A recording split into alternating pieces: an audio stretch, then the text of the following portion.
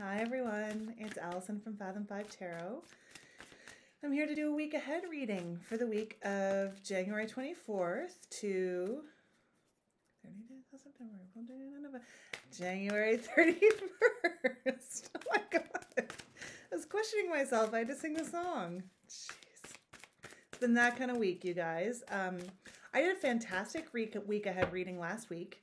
Um, the sound didn't record some reason. Seems to be working fine now. Anyway, uh, yeah, it was really good. I loved it. It was a great reading. It was helpful to me. And then I posted it on YouTube without even looking because I am dumb. And a bunch of people had to message me and say, there's no sound on your video. And I tried to re-record it and then I just couldn't, whatever. Didn't happen. So here I am last week of January, the world has uh, changed a little bit this week, which is good, in my opinion. And uh, we'll see now moving forward. This is a reading for the collective. Whatever works for you, great. If it doesn't work for you, sorry. Non-specific. And I'm using my Morgan Greer tarot today, which I just had an urge to pull it out. This one's really old. It's pretty worn. It's a terrible shuffling accident there. Oh my god. Sorry, I'm pretty tired. It's been a long week. So let's see what we get here. Oh, okay.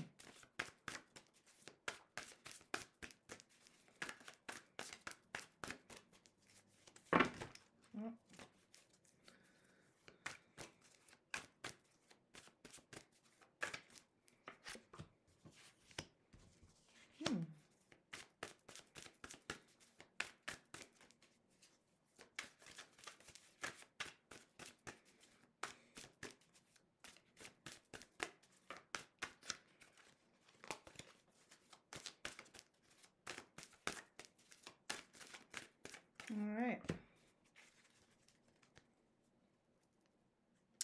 Well, this is interesting. Okay, I think I might pull a few more cards on this. So we had a jumper, as I always seem to at the beginning, the King of Cups. I've got a Rider-Waite here. Uh, the Knight of Cups is next. And then the Six of Pentacles. So um, one of the things, do I have a Rider-Waite handy? Uh, one of the things about this deck that um, it takes me a while to it took me a while to really get into the Morgan Greer and I'm going to use the Rider Waite Smith just in case people aren't as familiar who are watching. Um, as you can see, it's a really facey deck. It's really close up, which I now love, but it took me a little bit of a while to jive with it for that reason. And what I want to say about the King of Cups in particular will be better illustrated on a Rider-Waite Smith. So maybe I should just use that instead of just burning up all this dead air time. And uh, maybe I'll pull all, well, I probably don't need the knight though. Uh, do, do, do, but I might try and get that pentacles out of there. Maybe I should just use this deck, you guys, but whatever. If it's too hard to do, I won't do it. Um, it might be too hard to do. Uh, but one of the things I, oh, I find the King of Cups such an interesting card, and I'm sorry, I feel like maybe I pulled the King of Cups my last week ahead reading, or maybe it was two weeks ago. I don't know. Whatever. No, I think it was last week. So maybe this is coming out again, a continued energy for this week. Um, I can't talk and do this at the same time, clearly. I was looking for the um, Six of Pentacles. It's in here somewhere, but I can't talk and whatever. I'll just talk about it. Um, but so the King and the Knight of Cups are really emotional cards, right? I think of the King of Cups, you know, he's such an interesting one because he's like the the patriarch of the suit, right? He's um you know, that the suit is really of the emotions and this is the top level of the emotions. And yet, in the Rider-Waite Smith, um, I find the King of Cups to be actually quite a detached card. I don't know if you can hear my cat meowing down there. Um, here she is. Hi, baby. you want to come and do a tarot reading with me? Okay. I told you, I told you everything in my life is chaos and you're just going to have to deal with it. Um, So he's of the water in that he's surrounded by water, but he's not in the water in any way. His cup doesn't look that full. There's no little fish jumping out of it like the page. Um, and he's got his feet up on his platform or plinth, if you will. He's not like in the water. And I find his facial expression, this is a crap, this is the most meaningful tarot deck to me, but it's not a good printing, um, an old Rider Waite Smith. But he looks in every way reserved and detached. Whereas the Knight of Cups has that knight energy, right? Like your emotional knight in shining armor, your white knight, right? Coming to be all of the romance. So to have these two show up in a reading together is super interesting to me. Sorry, the computer is being bumped by the cat. Stop it. oh no. Sorry. Find a spot and be there. Um because this is like again, like if we're gonna go masculine, feminine, I, I don't always truck with that very much, but like this the two highest masculine energies in the cups and yet this one like really forward moving romantic passionate powerful emotion versus senior reserved over here um so that's super interesting and then we have the six of pentacles which I always think of in conjunction with the Five of Pentacles, right? So the Five of Pentacles is the two people like outside of the church. As a matter of fact, I just, oh, here it is right on top. I just like, I've seen it. There's the five in the Morgan Greer, right? The sense of being left out in the cold and, um, you know, so close to something that can help, but not actually within it. Whereas the six um, is this figure who is giving away to people who need it.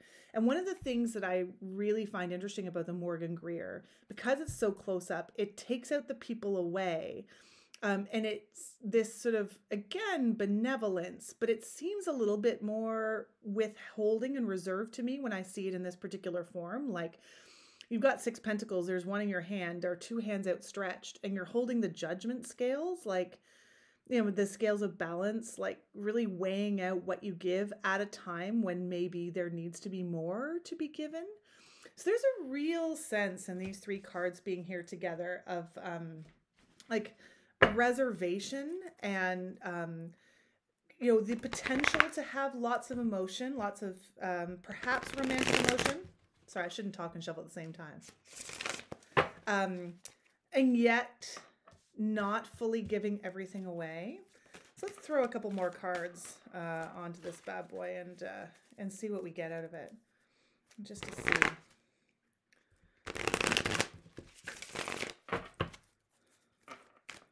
I'm going to still use the Morgan Greer, even though I am talking a lot about the Rider Waite Smith and those associations.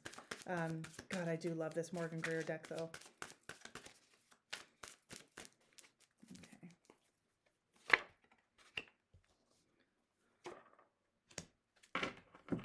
Okay. Okay. So, to, in addition to that, um, we drew the Sun and the Ace of Pentacles. So, with this clarification, right? So the Ace of Pentacles, I see, of course, it's the beginning, it's earthy, um, often associated with money and material things, but I also really associate it with things of the body, things of the flesh, sensuality. And we have the sun. And in the Morgan Greer deck in particular, there is this like um, connection between people in this particular version of the sun. No baby, no horse, like um, very much this is like it's super positive these two cards in this perhaps like emotional realm to ground the realm. So i guess what i would say is that if you're feeling like there's this opportunity this emotional opportunity to really get into it this week right to to give up your emotions but you're feeling reserved and like you need to hold back which is actually often a really great idea self-protection but the cards are saying like there's stability here, right? If you want to run a little bit with that Knight of Cups energy and get emotionally involved and whatever energy that you're feeling from the people around you, it seems like it's an energy you can actually trust and give over your emotions. If you're a person who is very reluctant to do that, this looks like a good week to me to to strike out and to take a bit of an emotional leap of faith where maybe you haven't before, or maybe you haven't trusted yourself to before. So, wouldn't that be nice? Uh, so, if there's somebody new in your life, and it doesn't have to be romantic, I do often think of the Knight of Cups as quite a romantic card, but it may not be. But if you've been reserved and not really sure if this is something that you want to do, a trust that you want to take on, I'd say uh, maybe it's time to just open those walls a little bit. Don't forget the lesson of the King of Cups, right? It's always good to keep a sense of self, always, always. Um, and don't drown in the emotions of another person or your emotions that you sort of conjure for another person if it's not grounded in reality. But these two cards are very grounded. And uh, I don't know, looks good to me. so I hope you enjoyed that and I hope you found it helpful. And I hope that your week is full of trustworthy, grounded emotions uh, that you can really swim around in and enjoy. And we'll be back with another reading next week. Have a good one.